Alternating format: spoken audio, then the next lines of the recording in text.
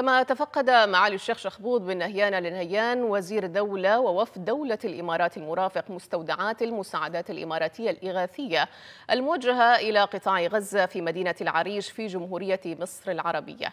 وذلك ضمن عملية الفارس الشام ثلاثة الإنسانية التي كان قد أمر بها صاحب السمو الشيخ محمد بن زايد النهيان رئيس الدولة حفظه الله لإغاثة الشعب الفلسطيني الشقيق في غزة.